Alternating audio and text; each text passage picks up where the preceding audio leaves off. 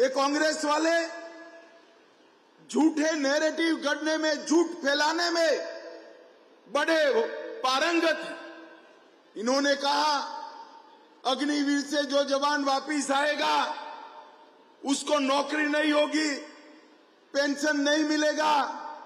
आज मैं हरियाणा के हर युवा को कहना चाहता हूँ, अग्निवीर से जो जवान वापिस आएँगे, देश भर की पुलिस ने इनको 20 टका रिजर्वेशन दिया है।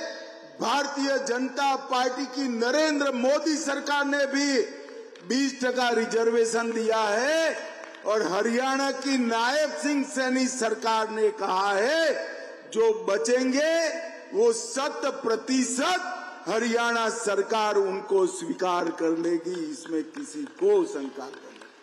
हुडा साहब, आप झूठ फैलाना बंद करिए। और झूठ का व्यापार लंबा नहीं चलता है। भाइयों बहनों, अभी मैं कुछ दिन पहले टीवी देख रहा था। हथीन से लेकर थानेसर और थानेसर से पलवल तक कांग्रेस की रैलियों में पाकिस्तान जिंदाबाद के नारे लगे। मुझे बताओ, आप सभी लोग बताओ, पाकिस्तान जिंदाबाद के नारे हरियाणा की भूमि पर लग सकते हैं क्या?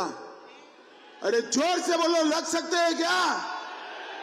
ये कांग्रेस पार्टी तुष्टिकरण की राजनीति के लिए आज हरियाणा को भी तुष्टिकरण से लिप्त करना चाहती है। ये राहुल गांधी कश्मीर जाकर कहते हैं, इनके साथी का एजेंडा है कि कश्मीर से धारा 370 समाप्त कर दी। जो जेल की सलाखों के पीछे? मोदी जी ने आतंकवादियों को डाला है, उनको जेल से रिहा कर दिया जाए